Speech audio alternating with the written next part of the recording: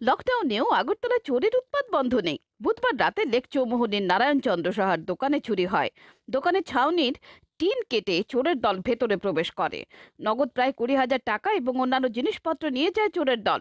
লকডাউনের সময় রাস্তায় পুলিশি টহল যথেষ্ট রয়েছে। তারপরও চোরের দল কীভাবে হানা দিল তা নিয়ে কিন্তু প্রশ্ন উঠছেই।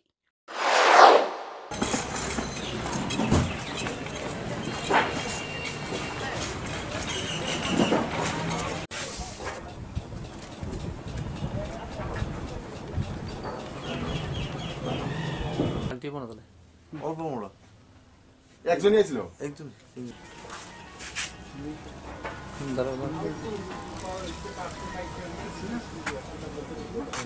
অ্যাকচুয়ালি কালকে যখন আমরা রাত্রেবেলা দোকান লাগিয়েছি তখন সাড়েটা বাজে। তো ন্যাচারালি পরের দিন সকালবেলায় সাতটা সাতটা বাজে দোকান খুলি। তো এই আজকে সকালবেলায় এসে আমার বিমল কাছে তেনে সবসময় চাবি দিয়ে তেনে দোকান খুলে। তো খুললে এসে তেনে দেখি তো সামনে ক্যাশটা পড়ে রয়েছে। লোক হঠাৎ করে ঢুইকা দৌড় দিয়ে ঢুইকা তো সব এই অবস্থা, এই দরজাটাও ভাঙা। তো আমার জোরে যে লিটন, তাড়াতাড়ি ঢুইকা দিয়ে এই অবস্থা।